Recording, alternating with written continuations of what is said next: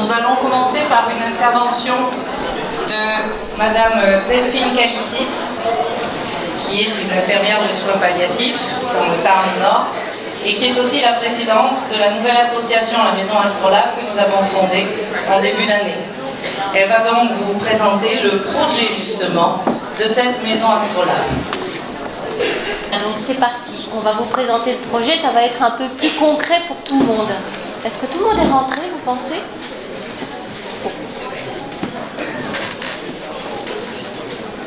Alors la maison Astrolabe, c'est un projet d'une maison de vie, d'accueil, de répit et d'accompagnement. Tous les mots sont importants.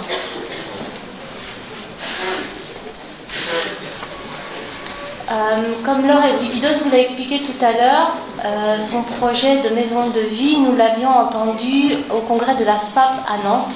La SFAP, c'est la Société française d'accompagnement et de soins palliatifs.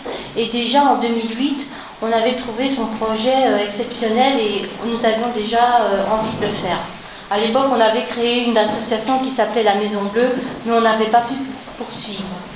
Donc en 2008, il y avait trois expérimentations. Il y avait la maison de vie de Besançon, l'Oasis à Toulouse, je ne sais pas s'il y en a qui ont entendu parler de cette maison d'accompagnement pour enfants, et la maison de Lionel en Ardèche. Aujourd'hui, donc on a, on a constitué une association, on est une vingtaine de membres, on est 20 membres d'ailleurs. Il y a des bénévoles de l'ASP, des bénévoles de l'association Soins Palliatifs, il y a des adjoints de la mairie de Cahuzac-sur-Mer, il y a des représentants des aides à domicile, il y a des élus de l'URPS, donc l'Union régionale des professionnels de santé, dont le docteur Théocon vous parlera tout à l'heure, et Didier Doubax qui est là aussi avec le micro. Il y a des professionnels de soins palliatifs, des soignants libéraux et hospitaliers, et nous avons le soutien de Laure Rubidos en tant que membre d'honneur, le soutien du professeur Thierry Marmé et le soutien de Christophe Pacifique. Voilà, vous avez un petit peu toute une vision de notre association. On a voulu être nombreux euh, pour porter ce projet. Donc une maison de répit pour qui? On en a déjà beaucoup parlé tout à l'heure, mais une maison de répit, c'est aussi pour les patients, pour les aidants. C'est une maison pour se ressourcer, pour rompre l'isolement, dans un lieu chaleureux et convivial, seul ou avec son, son proche. On n'est pas obligé de... On peut venir tout seul, et si son proche a envie de venir, il peut venir, mais s'il n'a pas envie, il peut ne pas venir. C'est un, lieu où on peut faire le point sur sa situation, prendre un peu de hauteur pour, euh, euh, euh, pour, oui, pour faire le point en fait. Et c'est un lieu où on pourra être soutenu et accompagné. Alors pour, pour les aidants, c'est prendre du temps pour soi, pour se reposer, être entouré et soutenu. C'est aussi un lieu où on va pouvoir parler. C'est vrai que parler, se sentir écouté, ça demande du temps et de la disponibilité. Pouvoir faire aussi d'autres activités avec son proche. On a dans l'idée de pouvoir euh, proposer, je ne sais pas, des activités pour aller au cinéma, venir à la salle des fêtes. Euh, euh, voilà, faire plein de projets. S'autoriser donc des projets et puis surtout avoir des vacances. Et une maison de répit, est-ce que ce ne serait pas aussi pour les soignants? Voilà, moi je, vous pose la question, quelquefois quand on a, on a des soignants, ben, le fait qu'ils soient dans un lieu, ça peut aussi être euh, un moment pour, pour les soignants se ressourcer. Ils ne sont pas forcément à la maison de vie, mais en tout cas on pourra faire du bien avec eux. Alors cette maison, cette maison, on l'imagine avec 12 chambres. Au départ, on voulait 7 chambres, puis 10, et puis finalement, on se rend compte que ces 12 chambres, euh, le, modèle qui conviendra le mieux euh, en termes d'économie. C'est un lieu où il y aura une présence 24 heures sur 24 et 7 jours sur 7. Donc c'est une maison pour accueillir des personnes en situation palliative. On en a déjà parlé longuement euh, avant, je ne vais, pas en reparler. C'est pour avoir pour un séjour temporaire, lorsque à domicile ça devient difficile pour soi ou pour ses aidants, et quand la situation médicale ne nécessite pas d'être hospitalisé. Et c'est aussi, on imagine, un lieu de formation et de réflexion éthique pour les aides à domicile, pour les soignants, pour les bénévoles. Parce qu'accompagner des personnes dans des situations de fin de vie ou dans des maladies graves nécessite d'être formés, accompagnés et de réfléchir ensemble tout autour de la table sur ces situations qui, qui nous posent question. Dans la région Occitanie, il y a trois projets qui ont été présentés à l'ARS. Il y a un projet hum, près de Perpignan avec l'association S'unir pour mieux vous soutenir. Il y a l'association à, à, Toulouse de Lustal Mariposa. Elles sont représentées ici. Vous pourrez les rencontrer si vous souhaitez. Et donc le projet de la maison Astrolabe à Cahuzac-sur-Mer. Nous avons tous rencontré l'ARS. Et ensemble, on travaille en fait la carte ou le, cahier des charges pour voir qu'est-ce qui conviendrait le mieux euh, pour notre région. Donc là, vous avez un, un petit schéma sur euh, la gauche où on imagine la maison de répit, une maison donc entre le domicile et les structures. Vous avez sur la droite donc les unités de soins palliatifs en lien avec elles, en lien avec les lits identifiés, les services hospitaliers, le SAMU, et puis surtout dans la maison de vie, il y aurait les libéraux qui interviendraient, comme à la maison. Donc les infirmières de Cahuzac sur qui sont ici présentes seront partie prenante dans le projet. Bon, on ne vous cache pas qu'il va falloir certainement réfléchir à comment ne pas surcharger euh, le, leur travail. Il y, aura les SIAD, les HAD, les Maya, enfin tous les réseaux de soins qui existent déjà. Ce, projet s'inscrit dans le parcours de soins. C'est un, un maillage en plus. Et donc, la grande partie de ce projet, c'est pour les bénévoles. On aimerait bien que ce soit le pilier de la maison, qu'il puisse y avoir euh, beaucoup de bénévoles et qu'on puisse se relayer. Avec des auxiliaires de vie, bien sûr, qui seront là 24 heures sur 24.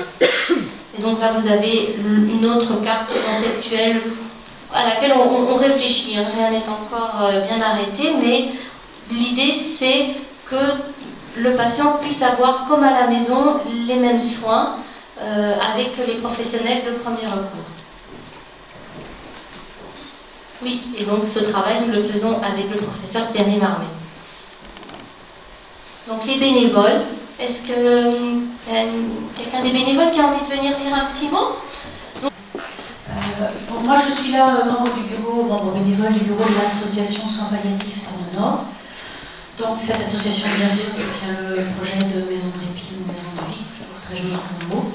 Euh, alors, l'association Soins Palliatifs a pour but, bien sûr, de promouvoir les soins palliatifs dans tous les domaines, mais pas forcément en famille. En effet, le palliatif, c'est pour la famille. Euh, nous, notre mission principale, ça va être de former des bénévoles d'accompagnement.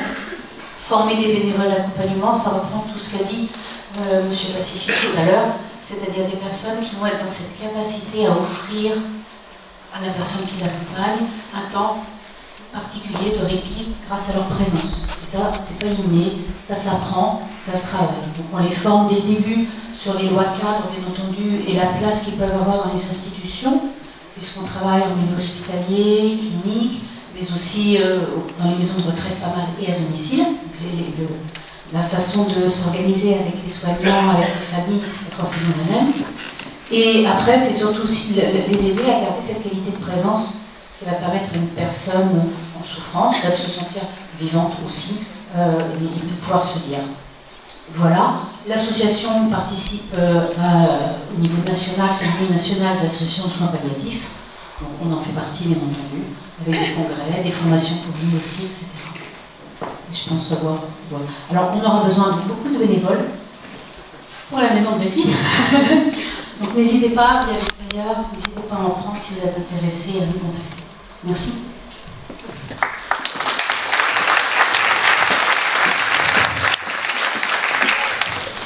Alors, une maison où la mairie propose donc un terrain, nous met à disposition un terrain ici à Cahuzac-sur-Mer. Je ne sais pas si les habitants de Cahuzac le situent. Et on imagine une maison un peu dans ce style, mais ça c'est la maison Isoy à Gardanne, qui est aussi une maison de, de répit, mais on va dire plus sur un mode sanitaire. Mais voilà, avec... Euh, J'ai mis ce plan parce que je l'aime bien. Mais bon, on verra après pour l'immobilier comment on va, on va faire. Vous voyez où c'est, à Oui Donc voilà. Vous avez euh, la maison médicale. C'est vrai qu'on ne voit pas très bien son PowerPoint, mais il y a une flèche avec le terrain. Et donc c'est vrai que c'est un terrain euh, au calme, où on peut rejoindre euh, ben, le village à pied facilement, on n'est pas sur la route.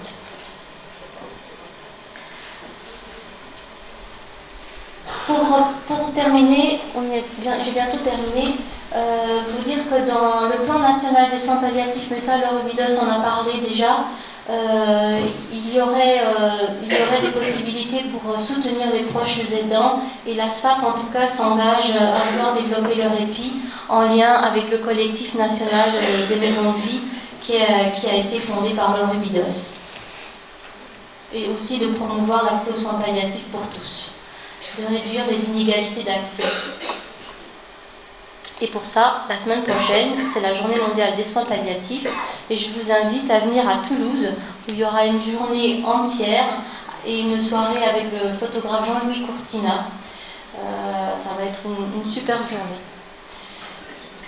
Le programme se trouve sur le, site de l'ASP. Voilà, il suffit d'aller sur le site ou bien vous avez les programmes ici euh, au fond de la salle. Voilà, je vais laisser la parole à mes collègues qui vont poursuivre euh, autour de la maison de répit.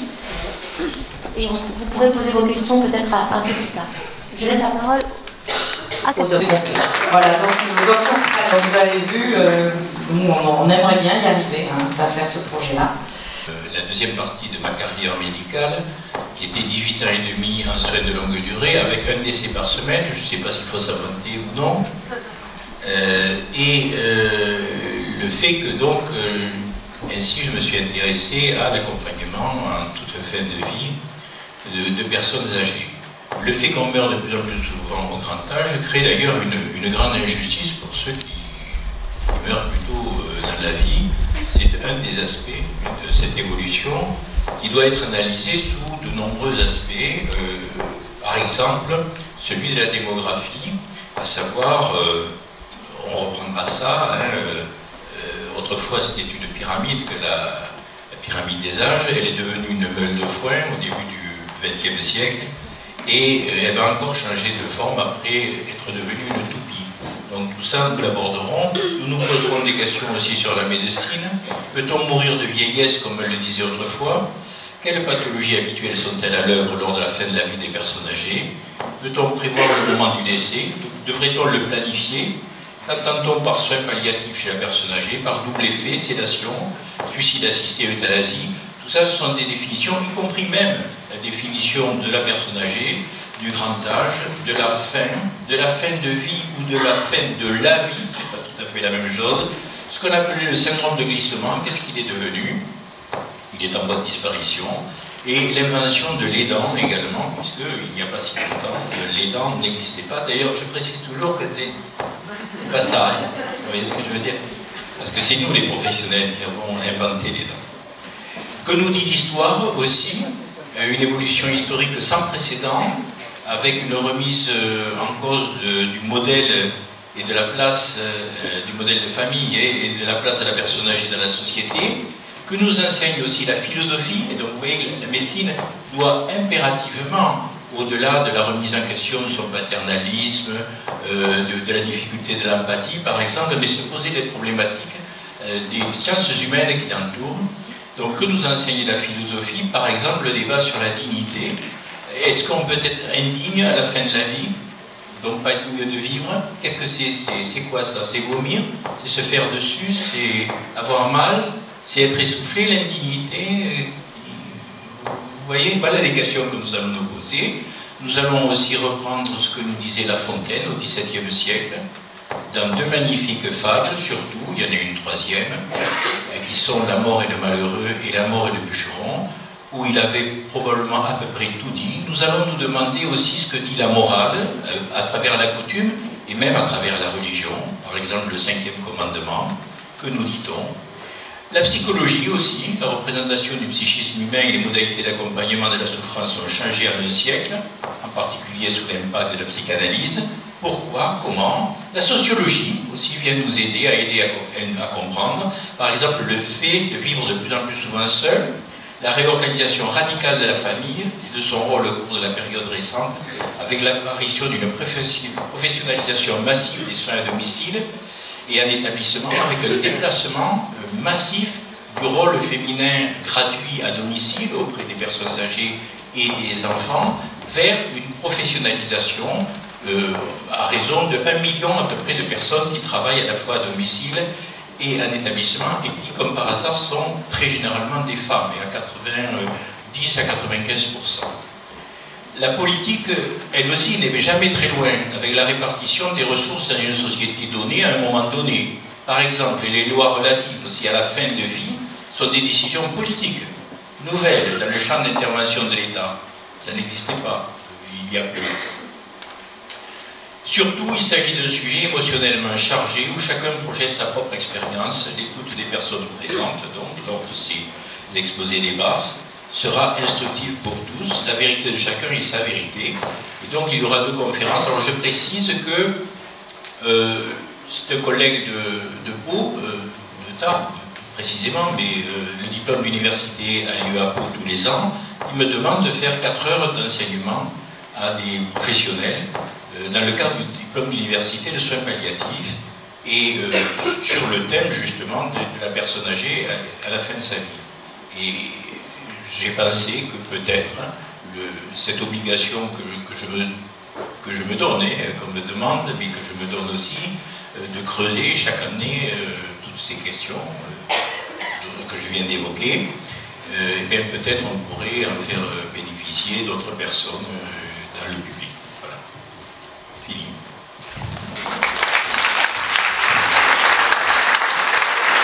Nous vous remercions, docteur. Vous avez ouvert beaucoup de questions. Il nous reste à y répondre plus tard.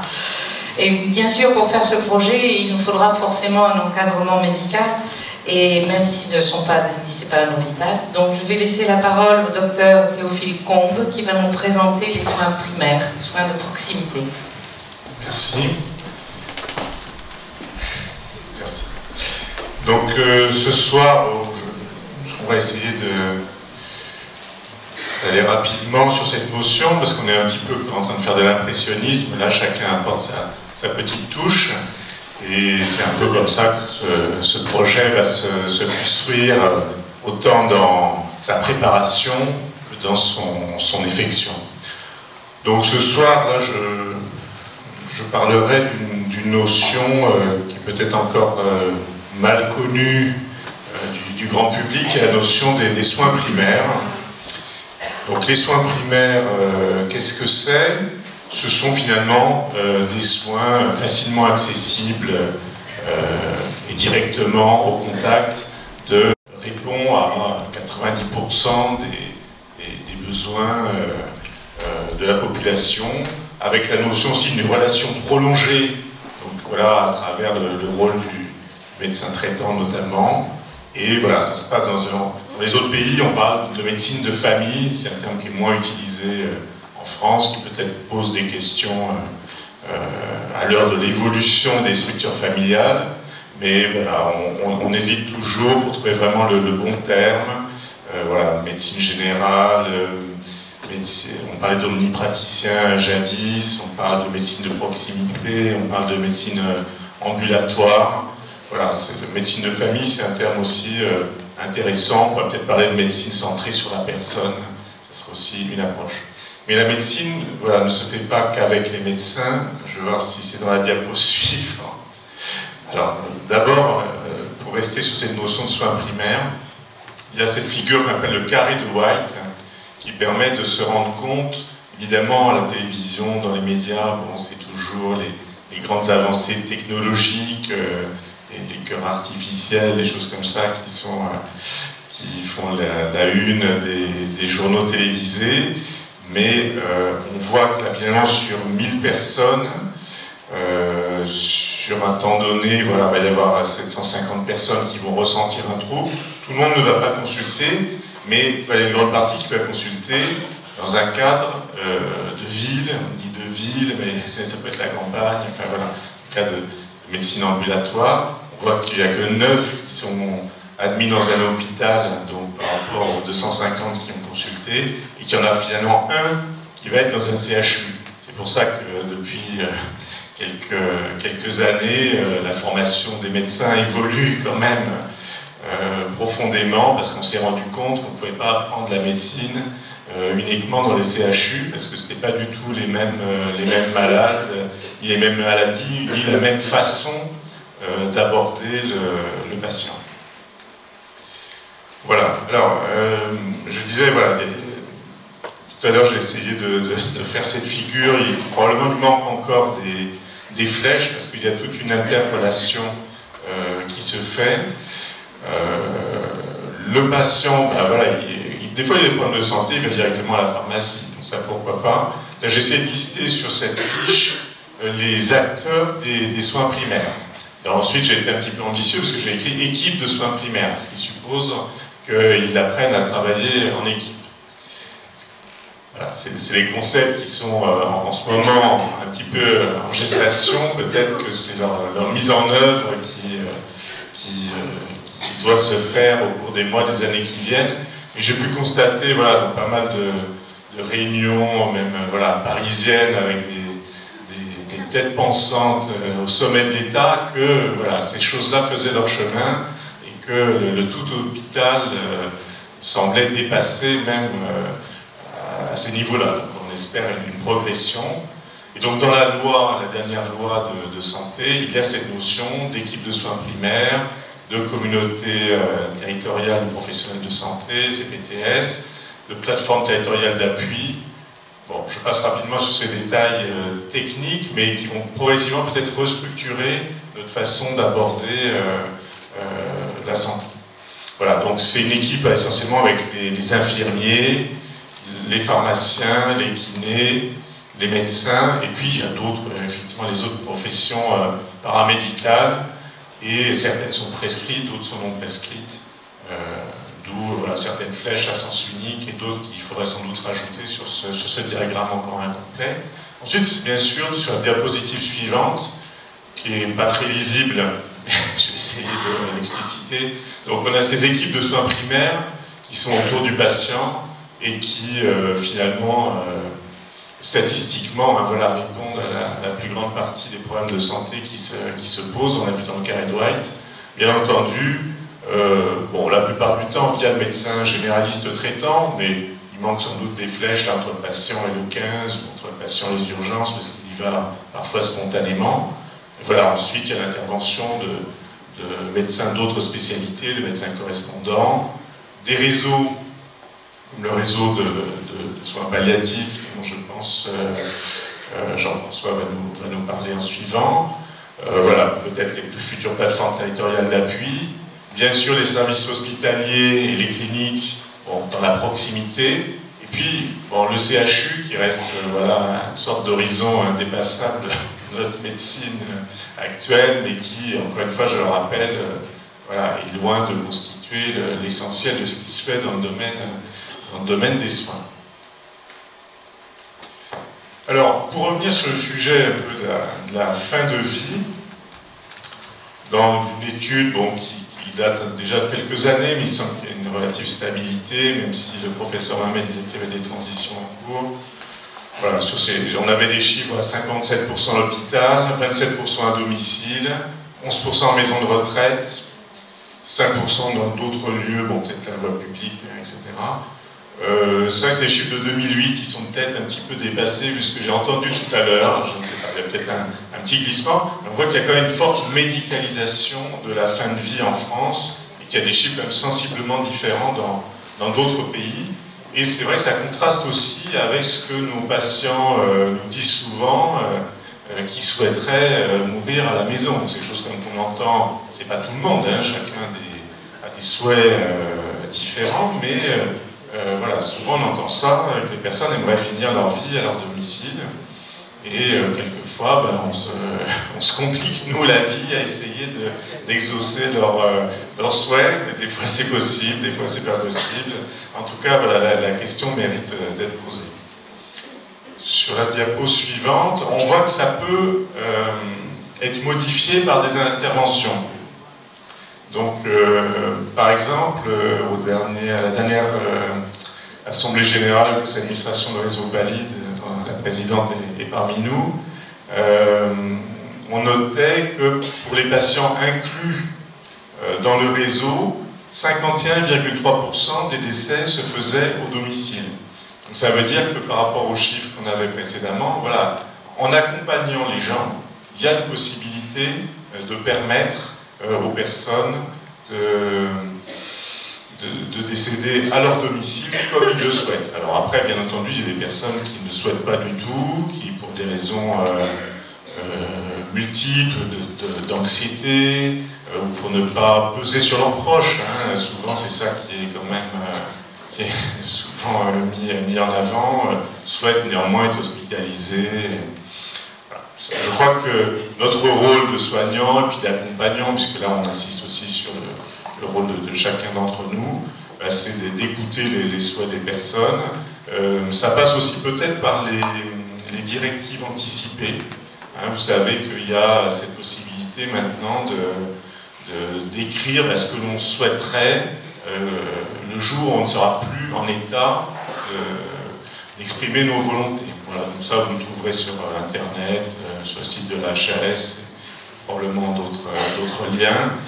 voilà, il y a ces documents qu'on peut remplir et, laisser au domicile. C'est pas mal de donner un double à votre, médecin traitant pour qu'il sache exactement quels sont vos, souhaits. Est-ce que dans telle situation, vous souhaitez être réanimé, être mis en réanimation, est-ce que au contraire vous opposez formellement à de l'acharnement thérapeutique? Enfin voilà, après, serait intéressant d'en discuter avec nos soignants euh, pour justement euh, affiner, parce que quelquefois on a des, positions euh, qui semblent un petit peu tranchées, un peu caricaturales, avec des, mots forts, et puis quand on creuse un petit peu, il y a tout un tas de subtilités, de, cas de figure à, développer.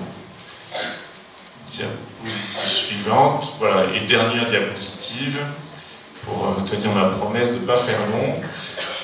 Euh, donc voilà, ce qui est intéressant et ce qui m'a intéressé en tant qu'élu euh, de l'Union régionale des professionnels de santé côté médecins libéraux, c'est voilà, que c'est une alternative à, l'hospitalisation et on, sort un petit peu de ces logiques du tout hôpital. Donc là, on est devant quelque chose qui serait, du point de vue du statut, un domicile, ou un substitut de domicile, une sorte de domicile amélioré, répond aux questions de l'isolement, de la sécurité, et puis finalement de, développer euh, un environnement favorable, un accueil favorable. On était tout à l'heure au témoignage de Laure Bidos qui nous fait quand même bien euh, ressentir euh, qu'est-ce que ça peut développer comme, comme ambiance relationnelle, avec des échanges humains et cette dimension humaniste également. Donc ce qui était aussi positif pour, pour nous, c'est que effectivement les, soins euh, de tous les jours, les soins médicaux, les soins infirmiers, probablement les, kinés, bien entendu la, pharmacie du, village de Cahuzac et les autres intervenants paramédicaux, on va voir ensuite également dans le domaine du, maintien à domicile, voilà, sont des acteurs locaux pour les pour les soignants, ben, des intervenants libéraux. Euh, bon, ensuite, vous l'avez vu, le niveau des soins primaires euh, est habitué à travailler avec les soins secondaires, éventuellement tertiaires, et puis il faut qu'on arrive aussi à travailler avec le, social, le médico-social. Voilà, donc c'est un projet qui, euh, je pense qu'on sera très nombreux à être d'accord ce soir, qui semble pertinent, qui répond à une demande, qui en même temps est dans cette ère du temps de, voilà, de, remettre les soins de proximité euh, en valeur pour euh, avoir toujours une, approche humaniste des soins et, notamment de la médecine. Voilà, merci.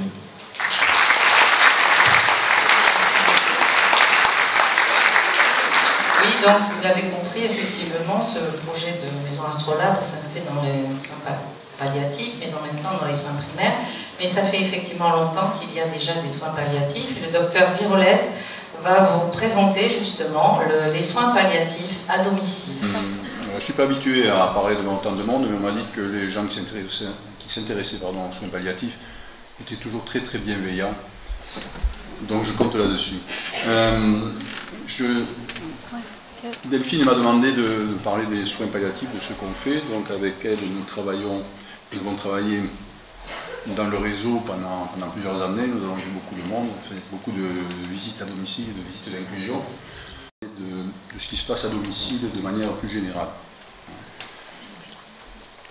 Donc en préambule, je voulais dire ça, il manque deux droits aux droits de l'homme, celui de se contredire et celui de s'en aller. C'est pas de moi, c'est de Baudelaire. Et je suis très content de prendre d'emblée le droit de me, contredire parce que je vais vous donner une citation que j'ai trouvée récemment. La citation et la métaphore sont la fin du dialogue. évidemment, c'est un inconnu qui a dit ça. Hein.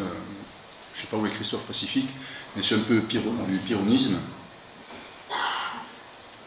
Et donc, je vais avoir l'occasion de me contredire. Je vais employer quelques citations on va parler, on va user de, quelques métaphores aussi. Et j'espère que nous arriverons à dialoguer avec tout ça. Je vais commencer par citer Thierry Marmet. Euh, quand j'ai fait le, DU de soins palliatifs, on ne retient pas toujours beaucoup de choses d'une intervention de, nos professeurs, mais j'ai retenu celle-là. Les soins palliatifs, c'est avant tout la compétence. C'est-à-dire que s'asseoir à côté de quelqu'un en étant très gentil, en lui tenant la main, euh, si on n'est pas compétent ou si on n'a pas la compétence pour régler ses problèmes, pour régler sa douleur, pour régler sa constipation, sa dyspnée, son angoisse, on ne fait pas du soin palliatif. Et la compétence, soit on est compétent, soit on sait où trouver la compétence. Où est la compétence On ne travaille pas tout seul en soin palliatif, ça c'est une des premières choses. Ça a été dit par quelqu'un d'autre, hein, sans technique, un don n'est qu'une salmanie. Il ne parlait pas tout à fait de la même chose. On a changé de génération, euh, pas grand monde qui connaît cette phrase. Je vois que Bernard Fradine la connaît. Hein, c'est du Brassens. Tu sais de quoi il parlait Non, les autres. Voilà. Une autre citation, c'est Paul Montastru qui nous faisait cours et qui nous a dit à votre âge et au stade de, vos études, vous ne croyez plus tout ce qu'il y a dans les journaux médicaux et vous ne croyez pas non plus tout ce que vous disent vos professeurs. Et moi j'étais, il nous faisait la pharmacologie, donc euh, d'être en deuxième ou troisième année de médecine, après une année qui n'était pas la médecine, mais qui était un cycle préparatoire, hein, le PEM, que j'ai eu en mai 68. Donc je fais partie de la plus mauvaise génération de médecins qui a jamais existé. Et là, j'ai eu l'impression de rentrer tout de suite dans un autre monde. Euh, j'étais considéré comme un adulte, comme un médecin, comme quelqu'un qui devait prendre ses responsabilités et se faire son propre jugement en essayant d'échapper à des. ou au moins de passer toutes les influences sous un regard critique. J'aime bien l'épilogue du film de, Barry Lyndon. Hein, je ne sais pas si vous avez vu ce film de Stanley Kubrick qui est magnifique. Donc je sais que vous lisez tous l'anglais, mais je vous la traduis quand même en français. Euh, Georges III vivait en 1738-1820, donc il est bien évident que tous les personnages du film étaient tous décédés après toute leur passion, leur querelle, euh, la brutalité, tout ce qui leur était arrivé. J'ai toujours aimé cette, cette épilogue. Et je vais vous citer aussi Serge Chaland. Donc Serge Chaland, c'est un médecin de Gaillac. J'ai plusieurs raisons de le citer. Euh, la première, c'est lui qui nous dit la vie se charge de trouver des solutions. Et c'est vrai que dans le réseau, dans les soins palliatifs, souvent on est devant des situations extrêmement complexes, où les décisions sont très difficiles à prendre, où les ressources sont difficiles à trouver. Et il y a un moment où on se dit, attends, ça va bien finir par se passer. La vie se charge de trouver des solutions. La deuxième raison pour laquelle euh, je, veux parler de Serge et de Martine Chaland et son épouse, un médecin généraliste aussi, c'est qu'ils ont un fils qui a fait médecine, qui s'appelle Benjamin. Et j'ai connu quelqu'un qui a eu affaire à lui en garde et qui a été bluffé par la qualité de ce jeune médecin. Même personnes ont affaire maintenant au successeur d'un médecin âgé qui a pris sa retraite, donc un jeune médecin aussi, et ils sont impressionnés par la qualité de ce jeune médecin. Donc je rassure tout le monde, la génération qui arrive est bien meilleure que celle qui a eu la première année, mai 68. Donc j'ai divisé mon intervention en chapitres, je vais faire vivre quelques personnes et quelques situations que j'ai vécues. J'ai donné des titres, donc le premier c'est la femme du boulanger, euh, ce n'est pas Ginette Leclerc. Le deuxième c'est le sprinter philosophe. Le troisième c'est le fils du trésorier payeur général. Le quatrième, style Richardson Olszewski, je vous expliquerai ce que c'est. À moins que vous sachiez tous ce que c'est, mais moi il me faut du, temps pour le savoir. Trois gastrostomies, et enfin la couturière optimiste. On va commencer par la femme du boulanger, ça m'a fait penser un petit peu à ce que tu racontais Thierry euh, tout à l'heure, oui. Euh, quand je me suis installé, j'étais un petit peu dans la toute-puissance, j'avais l'impression que j'allais guérir tout le monde et que j'allais les prendre en charge, que personne ne critiquerait mon pouvoir médical. Et donc je soignais un boulanger euh, retraité à Gaillac, qui était très âgé, et qui s'aggravait régulièrement. Et un jour, j'étais arrivé au bout de ce que je savais faire, et j'ai eu le réflexe qu'on avait à cette époque-là, euh, on devrait l'hospitaliser. Et je me suis fait mettre à la porte. Avec ces mots, on n'a plus des docteurs comme on avait avant. J'ai senti que dans le mot docteur, il y avait autre chose que médecin. Il y avait une, situation dans la, famille, dans le village, euh, quelqu'un qui prenait ses responsabilités jusqu'au bout et qui accompagnait jusqu'au bout les gens à la maison. Euh, ça allait de soi. Docteur, il y avait le curé qui venait un petit peu au secours du docteur. Et on y arrivait comme ça. Et nous, on était au moment où, au lieu de mourir à la maison, on s'est mis à mourir tous. Enfin, on n'est pas encore on s'est mis à, envoyer tout le monde mourir à l'hôpital et il y a des gens qui ne marchaient pas avec ça et qui auraient bien aimé que déjà on ait mis d'autres choses en place. Et ça, c'est ce que j'ai pensé tout petit dans ma tête. Il me manque quelque chose. Et à partir de là, dès que j'ai vu, puisque c'était en 77, dès que j'ai vu se développer des, soins palliatifs, des approches euh, d'accompagnement, j'ai essayé de me tenir au courant, de me former, de m'y intéresser. Voilà, donc c'était la femme du boulanger, et c'est des, leçons qu'on reçoit, on se souvient encore, puisque 77-2017, ça fait 40 ans. Et je me souviens très très très bien, comme c'était hier, je revois la maison, je revois le, visage de, la dame, etc.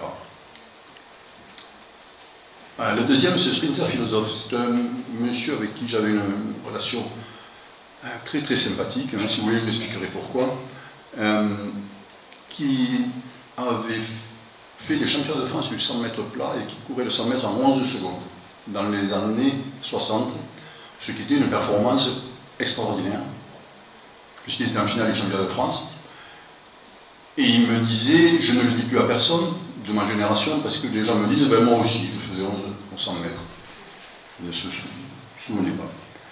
Et donc c'est un monsieur qui a écrit beaucoup de bouquins, qui a encore des gens qui en font l'exégèse et qui a un blog, c'est pas lui qui l'a rédigé, c'est qui l'a établi. Et les discussions avec lui étaient souvent assez difficiles à comprendre, mais on en ressortait toujours avec euh, quelques questions qu'on se posait. Et par exemple, il me parlait du signifiant et du signifié.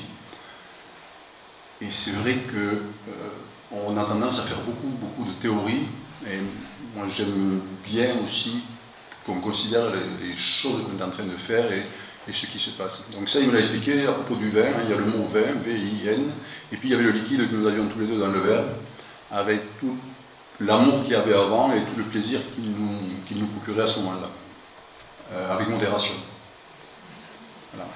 Il m'a parlé de la douleur à Paris. Il y a eu un accident de taxi, très rare les accidents de taxi à Paris. C'est vrai que ça n'arrive presque jamais, pourtant ils roulaient comme des fous. Uber n'était pas encore inventé, et il s'était cassé le bras. Donc il avait été opéré à Paris, hospitalisé à Paris, il avait mal. Et il m'a dit, à Paris, dans les services de chirurgie, on ne calme pas la douleur. C'est une tradition. J'étais un petit peu surpris, mais pareil, c'était il y a très longtemps. Et donc, pendant son hospitalisation, il s'est levé, il est allé voir son voisin de chambre, il a dit non, ça ne peut pas durer, il faut qu'on fasse la révolution. Et son voisin lui a dit euh, écoutez, j'ai le cancer, alors la révolution, hein, c'est pas tout à fait, pas tout à fait mon problème. Je le dis sur un ton un petit peu comique, mais c'est vrai qu'on ne traitait pas la douleur, alors que maintenant, je pense qu'on la traite près partout. Les gens qui ont été opérés savent qu'il y a très très peu de douleur en post-opératoire, que c'est bien pris en charge. Et dans les soins palliatifs aussi, on s'occupe de, la douleur. J'ai fait chez lui une expérience de ce qu'était la présence. Euh, il était déjà très très âgé, très malade, et euh, l'infirmier est passé, a fait ce traitement, très bien, mais il n'a pas enlevé son blouson de manteau, il a laissé fermer jusqu'au bout, et il est reparti comme ça. Et moi qui étais présent ce jour-là, je me suis dit, il manque quelque chose, et la qualité de présence, là, n'était pas ce qu'on attend. J'avais lu il y a très longtemps qu'un vieux médecin, même quand il était pressé, même quand c'était l'hiver, même quand il y avait beaucoup de travail, il enlevait toujours son manteau quand il arrivait chez les gens, il le posait, il faisait ce qu'il avait à faire, il le remettait, il avait perdu entre 5 et 10 secondes, mais ce n'était pas la même visite que s'il avait gardé son manteau sur le dos. On, a eu ce problème. Moi, j'ai vécu les débuts de l'informatique, les ordinateurs qui sont arrivés sur les bureaux. Et c'est vrai que dans la relation médecin-malade, l'ordinateur est venu s'interposer et s'interpose encore. Et si on ne se méfie pas, on a tendance à regarder l'écran plus, que le, patient, et c'est un, un, écueil contre lequel il a fallu lutter. Surtout, je, suppose que les jeunes, euh, on leur enseigne à la fac. Non oui, on le dit, mais, c'est difficile. Hein. Nous, il a fallu qu'on s'y mette, hein, parce que les premiers ordinateurs, en plus, n'étaient pas très doués pour s'en servir. Euh, voilà. Ce, monsieur avait une, en fin de vie une démence accordée vue, donc euh, avec un syndrome parkinsonien, et il s'est retrouvé un jour très très euh, constipé avec ce qu'on appelle un fécalome. Les médecins, les infirmières, les aides-soignantes, vous savez tout ce que c'est. Euh, pour les autres, c'est les matières qui font un caillou à l'intérieur de l'intestin, une espèce de caillou, et il faut l'extraire. Et donc c'est quelque chose que j'ai fait à domicile, que je lui ai extrait. Et il a eu un soulagement extraordinaire sur ce geste très simple, en fait, qui est très basique, et qui fait partie de, la médecine depuis très longtemps, mais qu'on perd un petit peu. Je crois que même à la maison de retraite, euh, c'est un peu difficile d'aller extraire les calommes, on essaie avec avec des médicaments, avec des, artifices de, s'en débarrasser. Et donc il a fait un gros ouf, et là je lui ai donné une citation, hein, donc je me suis autorisé à faire quelques citations. Euh, je lui ai dit, tu sais ce que disait Alphonse Allais, si j'étais riche, je pisserais tout le temps. il m'a dit, ah putain que c'est vrai. Et pour finir avec mon sprinter, euh, il a fini ses jours à domicile, il était très malheureux à l'hôpital, et je pense qu'une maison astrolabe aurait pu, euh, pour lui, être une, solution, au moins pendant un certain moment. Il était vieux garçon. Il m'a dit J'aurais bien aimé avoir des enfants, mais j'aurais eu du mal avec la conjugalité. Je vais être un peu plus court avec les autres, parce que le, premier, c'est quelqu'un avec qui euh, j'ai eu un très long parcours. Hein. Quand on parlait de médecin de, famille, euh, c'était ça. J'avais soigné sa maman qui me disait ah, Michel, quand il écrit ses livres, il se fatigue, et personne ne l'achète. Vraiment une relation hein, très intéressante. Donc, le fils du, trésorier général, euh, c'est une famille où on fume. Il m'explique euh, on partait en vacances quand j'étais gamin, moi j'étais à l'arrière de la 4 chevaux, je ne voyais pas le volant, je ne voyais pas le tableau de bord parce qu'il y avait de la fumée dans toute la voiture. On fume et, on en meurt, il y avait une, espèce d'acceptation. Hein, ça s'est passé il y a quelques années. Et donc, ça s'est terminé à la maison dans des conditions avec une sédation qui ont été, euh, qui ont été on va dire, euh, bonnes. C'est jamais bon, hein, puisque ça finit par le décès. Mais il y avait un certain nombre de conditions qui étaient réunies. D'abord, il connaissait son diagnostic, il était lucide, et il savait qu'on allait respecter son projet. Il avait pu l'exprimer, il avait dit quand ça ira pas, quand je, si j'ai trop mal, euh, il nous avait autorisé à mettre en place une sédation avec une information qui était, qui loyale, il n'y a aucun problème. Il y avait une famille, c'était sa mère et sa sœur qui étaient là, qui comprenaient très très bien les choses. Les enfants sont venus, ont aussi compris ce qui se passait et comment on travaillait. Je n'étais pas avec le réseau là, hein, j'étais en tant que généraliste, j'habitais pas loin.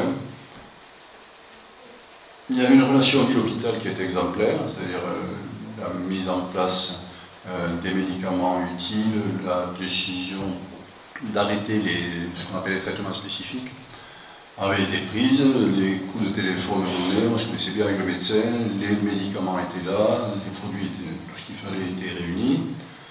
Il y avait une infirmière qui avait travaillé en soins palliatifs à Aurillac, qui venait de s'installer à Gaillac, et donc était très disponible, très compétente dans le domaine. Et le médecin était aussi impliqué et disponible, hein, puisque c'était moi. Voilà. Et donc, il en ressort qu'il n'y avait pas de maillon faible dans, cette prise en charge. Et ça, c'est très très important. Très important dans les formations que j'ai faites avant de faire des soins palliatifs. On insistait sur cette notion de maillon faible. Ça peut être la famille qui craque, ça peut être le professionnel de santé qui n'est pas là, qui part en vacances, il n'y a pas de remplaçant, le cabinet infirmier qui ne peut pas suivre, etc. Là, on n'a pas eu de maillon faible, on a pu faire un accompagnement vraiment parfait. Voilà. Euh, Steve Richardson Olszewski, c'est une maladie euh, relativement rare qui ressemble à la maladie Parkinson, mais avec une évolution plus rapide euh, et assez, assez implacable. Ce diagnostic, c'était sur Castelnau de Lévis, on y était avec Delphine, et c'est la famille qui avait fait le diagnostic sur Internet. Une famille d'agriculteurs, ça ne veut pas dire parce qu'on est agriculteur qu'on est moins capable de chercher, de comprendre, d'analyser les symptômes de la maladie et d'arriver à, ce diagnostic, qui est toujours un diagnostic difficile, que les médecins font à retardement, parce que les, premiers signes sont, très très atypiques. Et ils sont arrivés voir le neurologue et lui ont dit on pense que notre mère a cette maladie-là. Et le neurologue a dit Ouh, mais alors, hein, ça le temps. Voilà. Et quand je disais que la métaphore, c'est la fin du dialogue, c'est que quand ils ont entendu ça, ils ont été plombés. La, métaphore météorologique, ils n'ont pas analysé du tout. Ils sont repartis. Et c'est vraiment de ça qu'ils nous ont parlé, hein, Delphine, tu es d'accord? C'est de ça qu'ils nous ont parlé quand on a été les voir avec le réseau et que la malade était en fin de vie. Il y avait le médecin traitant, il y avait une équipe avec des, infirmières euh, compétentes, dévouées, engagées dans, l'accompagnement, dont nous intervenions. Et puis j'ai eu une inspiration, je me demandais, mais comment ça se passait cette dame avec euh, le, culte, avec l'église, avec le curé, est-ce qu'elle avait des habitudes? Là tout le monde s'est regardé, elle n'était plus capable de communiquer, mais ils ont dit, c'est vrai qu'elle allait à la messe à certaines occasions. Et puis qu'il y avait un prêtre avec les s'entendait bien. Et donc ils ont décidé de entrer en contact avec le prêtre et de faire venir le prêtre à la maison, comme ça se faisait dans le temps. Et on a eu le sentiment que, enfin, parler de la spiritualité, ça les apaisait. Et ça, c'est quelque chose qu'on voit dans tous les bouquins, dans toutes les définitions, et c'est rare qu'on arrive à le mettre en œuvre. Et depuis, ben, je fais attention, quand je vais avec le réseau chez quelqu'un, je regarde s'il y a un crucifix, s'il y a une image de la Vierge, euh, et on essaie d'aborder le problème de leur pratique hein, euh, religieuse, spirituelle. Voilà. On arrive bientôt à la fin. Les trois gastrostomies. Donc la gastrostomie, c'est nourrir quelqu'un en lui mettant un tuyau directement dans l'estomac. Hein, on arrive à, amener les calories qu'il faut. Et par contre, euh, on perd tout ce qui est par la bouche, tout ce qui est le goût sauf dans certains cas. Donc la première, c'est une trisomique, une jeune fille qui est qui n'est plus une jeune fille, qui a passé 60 ans, qui est dans une zone de retraite, qui est trisomique, qui a fait une hématome sous-dural, et chez qui, après avoir consulté son frère et qui était son tuteur, on a placé une gastrostomie euh, dans un état qui était quand même assez précaire. Puis elle a récupéré, ça fait deux ans et demi, je crois que c'était en février 2014 qu'elle a eu sa gastrostomie, elle est toujours avec nous, elle a un certain confort, mais le frère se dit, euh, quand même, j'aurais peut-être dû dire qu'on ne le faisait pas. Et ce, que j'ai retenu quand Jean-Marie Gomas est venu à, Toulouse nous faire un cours, euh, Jean-Marie Gomas est un médecin qui souffre de soins palliatifs depuis aussi longtemps que, Thierry Marmet. Euh, quand on a pris une décision sur le plan éthique, elle est prise. Hein, et il ne faut pas revenir dessus, il ne faut pas en parler longtemps. Il y aura peut-être besoin de reprendre une décision, de refaire une réunion et de reprendre une décision dans quelques temps. Mais ce qui a été fait, ça a été fait dans des bonnes conditions euh, de décision éthique. il faut le, vivre avec. C'est une dame d'origine espagnole qui avait une fibrillation auriculaire. C'était ma patiente. Enfin, c'est une patiente qui m'avait fait confiance. Et quand j'ai trouvé la fibrillation auriculaire, je l'ai envoyée chez le cardiologue. Le cardiologue a confirmé qu'il fallait des médicaments anticoagulants. Et là, elle n'a plus vu de médecin, du tout, personne, pendant 7 ans. Et elle a fait un accident vasculaire cérébral massif avec une grosse, grosse euh, hémiplégie droite, donc aphasique, quelques signes du côté gauche. Maintenant, on s'est retrouvé gravataire et à on lui a mis une gastrostomie aussi. Et je me suis dit, comment ça va se passer? Et puis le mari l'a reprise à la maison. Et le mari, qui est un ancien routier, un ancien légionnaire, avec des avant-bras comme Popeye, tout le monde se méfie avant de lui serrer la main parce qu'il va broyer les, les œufs d'écart, s'est transformé en infirmière extraordinaire, avec beaucoup de délicatesse. Il manie le lève malade avec grande dextérité. Il la met devant les émissions qu'elle aimait à la télévision, la musique d'origine espagnole, les spectacles de danse, etc. Ça va faire 4 ans que ça dure, et cette dame est encore là, elle n'a aucun problème cutané. Et quand on va la voir, elle vous prend la main, elle vous embrasse la main, elle a un grand sourire. Et la hum, troisième gastrostomie, c'est une dame qui a 90 ans, c'est une patiente de, de Serre de Chavannes, sinon on y revient. Et c'est une dame qui a eu un cancer de l'amidale. Un dia, on faire une radiothérapie et vous ne pourrez plus manger pour instant-là. Il faut qu'on vous nourrisse par gastrostomie et quand la radiothérapie sera finie, on enlèvera la gastrostomie. Et donc, elle en a accepté le principe. Et c'est une gastrostomie qui n'est pas du tout palliative, hein, c'est une manière de la soigner. Euh, de lui permettre de ne pas maigrir, de ne pas s'affaiblir, de continuer à manger. On a traité, elle était chez nous à la maison de retraite, donc on a traité sa douleur comme il faut, les pensionnements ont été bien faits. Quand elle a eu des problèmes de bouche, ça a été bien pris en charge, puisque les soins de bouche ont commencé à connaître. Et ce qui fait qu'elle ressort, elle a passé trois mois chez nous, et elle ressort, elle va retourner vivre chez elle, elle ne voulait pas avoir des gens chez elle, ça aurait pu se passer à domicile.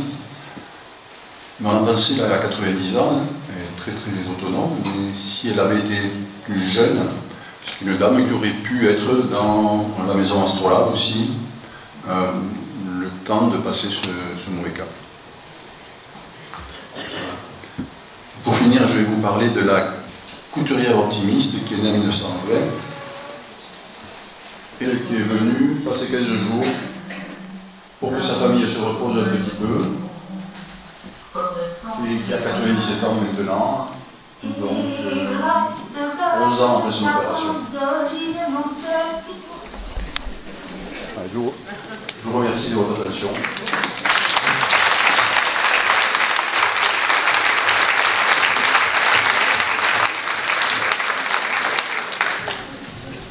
Encore merci pour tous ces très beaux exemples de personnes ayant besoin, ayant fait appel aux soins palliatifs. Alors là, c'était les soins palliatifs donc à domicile, mais il existe aussi, comme le professeur Thierry Marmet nous l'a dit tout à l'heure, identifier soins palliatifs. Et c'est Madame Gouba qui va nous présenter ce à quoi correspond cette appellation de l'identifier. Merci. L'organisation. Donc le, concept de l'identifier de soins palliatifs est dans la circulaire du 19 février 2002 relative à l'organisation des soins palliatifs. Donc c'est quand même relativement récent. La reconnaissance d'une activité qui existait déjà dans certains services, certains services où euh, il y avait des décès. Donc des courts séjours de médecine et de chirurgie, de moyens séjours comme les soins de suite et de réadaptation, de longs séjours comme les unités de soins de longue durée, qui pratiquaient déjà des prises en charge palliatives, par exemple, et pour un accompagnement de fin de vie.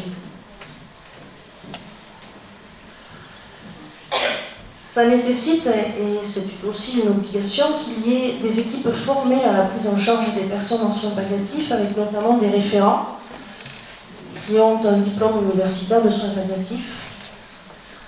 Euh, les équipes sont formées euh, au gré des formations, bien entendu. Donc aux directives anticipées, savoir comment euh, les aborder, et puis aussi former et donc ne reconnu par les patients et les proches. C'est aussi des bénévoles qui sont formés à l'accompagnement des patients et de leurs proches.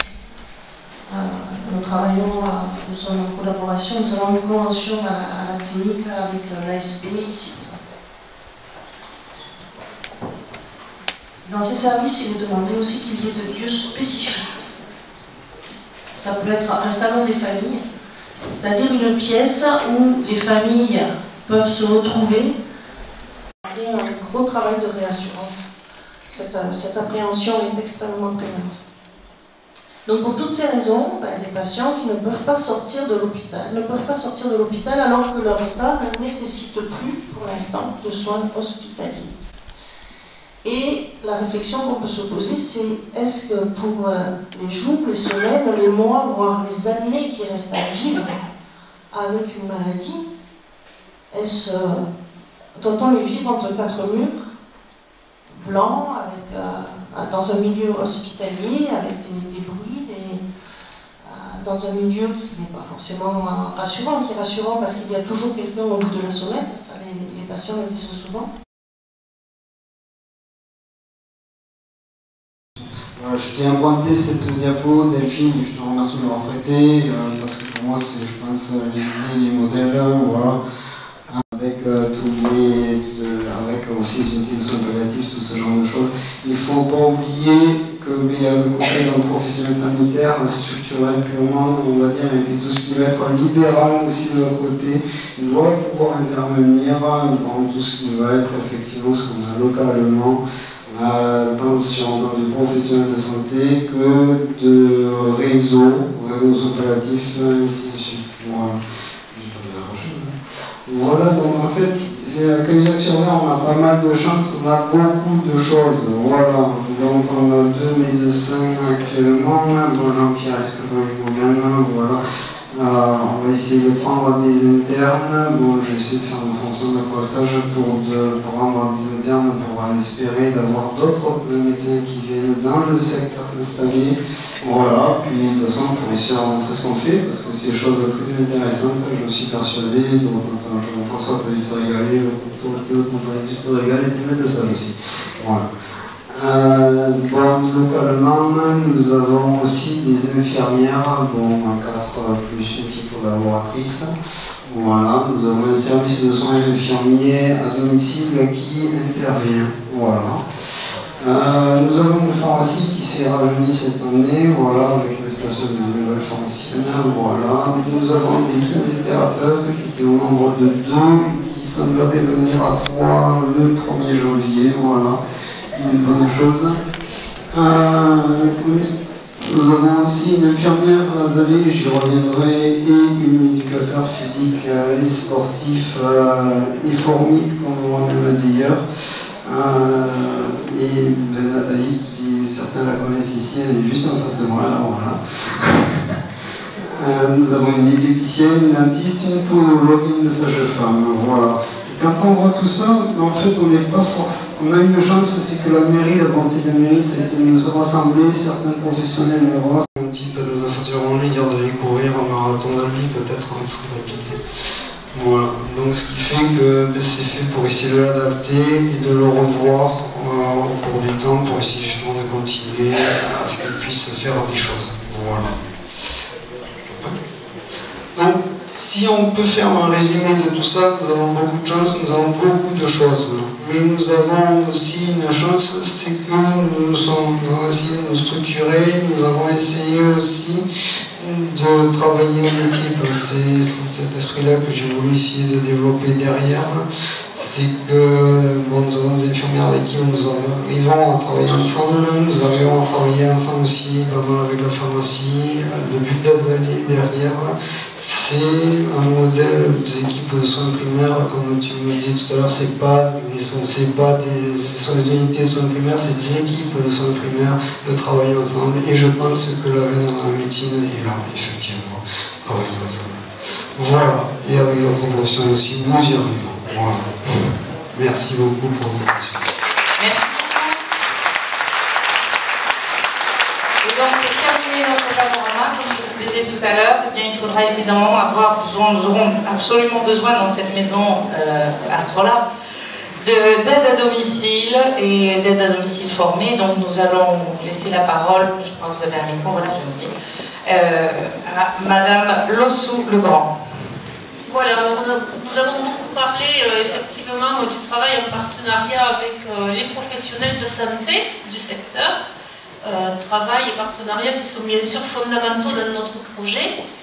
Mais au cœur de tout ça et au quotidien, eh bien, il va y avoir d'autres professionnels qui, eux, n'ont pas du tout la même mise sur la santé, qui le savent bien, et qui pourtant ont un rôle fondamental euh, dans notre projet, d'une part, mais euh, plus généralement dans le maintien à domicile, quel que soit le type de public, personnes âgées euh, en perte d'autonomie, personnes handicapées, malades, et notamment malades dans le cadre des soins palliatifs, voire de la fin de vie. Voilà, et ces professionnels, eh bien, ce sont des aides à domicile et peut-être plus particulièrement en ce qui nous concerne au niveau de la maison Astrolabe, les auxiliaires de vie sociale. Alors, c'est vrai que ce projet euh, de la maison Astrolabe, vous l'avez bien compris, je pense, depuis le, début, il a été euh, conçu dans un souci de travail en réseau, de travail en partenariat, dans un souci de dynamique euh, au niveau de la commune, au niveau du, territoire, on peut élargir un petit peu au-delà de, la commune, euh, ben, pour permettre euh, à chacun de travailler ensemble. Je pense que euh, la notion d'équipe, de partenariat est essentielle. Hein. Il se trouve qu'à Cahuzac, nous avons depuis très très très longtemps une association d'aide au domicile qui s'appelle le SAD Vers Grésigna, qui emploie un certain nombre de personnels sur des fonctions d'agents à domicile ou d'auxiliaires de vie sociale, entre autres. Euh, des personnes qui sont euh, compétentes, euh, des personnes d'âge très divers, avec des dynamiques diverses. et donc nous avons souhaité, alors même si le fonctionnement n'est pas encore tout à fait affiné, mais nous avons souhaité pouvoir travailler en partenariat étroit, alors peut-être sous forme de prestation, ça, ça reste encore à déterminer, pour pouvoir euh, bénéficier de la compétence de ces auxiliaires de vie sociale euh, au quotidien, 24 euh, heures sur 24, donc à la maison de vie, à la maison Astrolabe. Alors le travail des AVS, c'est bien sûr, ça je pense que tout le monde l'a en tête, un travail, on va dire, plutôt technique, hein, sur tout ce qui est aide aux tâches de la vie quotidienne. Voilà, mais un travail qui est très important, puisque bien sûr, il va permettre à la personne aidée de pouvoir euh, continuer à évoluer, continuer à vivre dans un environnement confortable, dans un environnement sain, et puis surtout euh, dans un environnement où son contexte personnel à lui, ses habitudes, ses façons de faire vont être respectées. Les ABS, au-delà de ces activités, euh, je vais appeler plus techniques, euh, vont avoir aussi un rôle social très important puisqu'elles vont réaliser l'aide et l'accompagnement aux actes essentiels de la vie. Euh, et donc, par là, elles vont avoir une proximité très importante avec la personne aidée, mais aussi avec l'environnement proche, hein. donc souvent c'est la famille, le conjoint, les enfants. il faut savoir que ce sont des personnes qui, contrairement aux professionnels de santé, vont avoir des temps d'intervention très long. Voilà, c'est-à-dire qu'une ABS, quand elle arrive dans une famille, bon, en règle générale, elle arrive pour une intervention qui va durer une heure, voire deux heures, parfois dans certains cas. Voilà, donc c'est vraiment le professionnel qui va rester le plus longtemps dans la durée sur l'intervention. Quand on intervient, euh, alors sur des cas euh, de dépendance importante. Les interventions sont multiples dans la semaine. Donc, bien entendu, vous vous doutez bien que lorsqu'on intervient une à deux heures en continu plusieurs fois par semaine, pendant plusieurs mois, voire plusieurs années, eh bien, il va se créer des liens avec la personne aidée, des liens avec l'environnement, euh, on va connaître les personnes, on va euh, euh, discuter avec les personnes, on va être à l'écoute, on va être en observation. Ce sont des personnes qui sont capables, au bout d'un certain temps, de s'apercevoir que, tiens, ben aujourd'hui, il y a un petit quelque chose qui n'est pas comme il y a deux jours. Voilà. Ah, effectivement, alors peut-être que quand on voit la personne de façon brève, on ne peut pas s'en rendre compte, mais moi qui interviens pendant deux heures, euh, trois fois par semaine ou quatre fois par semaine, là je sais qu'il y a un petit souci, il y a quelque chose qui ne va pas. Voilà, et donc euh, la personne va pouvoir euh, ben, faire un signalement, faire remonter l'information, transmettre de différentes manières, quand il y a des cahiers de liaison, on en va faire la hiérarchie, etc. Voilà, donc ces ABS, elles ont un rôle fondamental dans l'accompagnement et dans le maintien à domicile.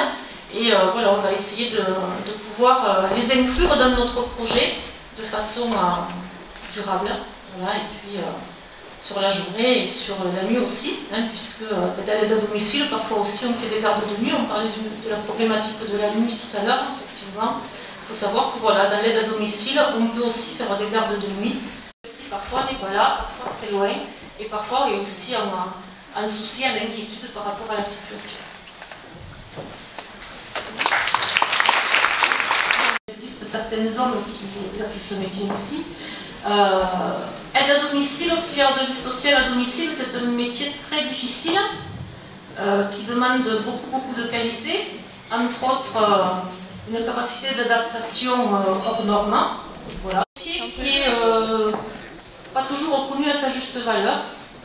Voilà, alors ce sont en fait des professionnels qui sont indispensables dans la vie et dans l'accompagnement. Voilà, sans eux, on ne pourrait pas fonctionner.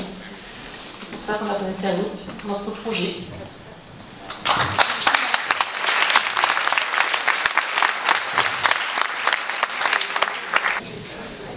Oui, je voudrais juste euh, savoir, parce que j'ai entendu des personnes euh, en parler entre elles tout à l'heure à la pause, euh, pourquoi Astrolabe Alors je vais commencer. Alors au départ, on, avait choisi un autre nom, c'était la maison Carpe Diem si vous en avez entendu parler. Et puis c'est vrai qu'on a eu quelques petits soucis parce qu'il existe une maison Carpe Diem euh, au Canada et donc pour éviter euh, de faire un mauvais départ, on a préféré changer de nom et donc ça a été une longue réflexion. On a eu euh, des échanges nombreux, des débats et c'est vrai que finalement on a souhaité que ce soit la maison Astrolabe parce que la maison Astrolabe c'est vraiment c'est un outil qui, qui, qui, est local, c'est donc un outil pour mesurer la hauteur euh, des astres et c'est le bateau de la Pérouse. Est-ce que quelqu'un veut commenter un peu plus sur l'astrolabe? C'est aussi un vin gaillacois. C'est euh, un autre symbole en fait, c'est permettre de, prendre de la hauteur, de faire le point sur sa situation. C'est symbolique, il y a plein, de choses derrière. Euh, savoir c'est en tout cas un symbole local. Vous connaissez tous l'Astrolabe?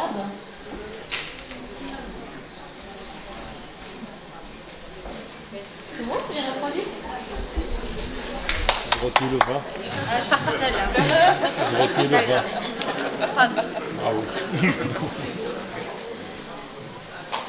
Allez, on va manger. Merci à toi.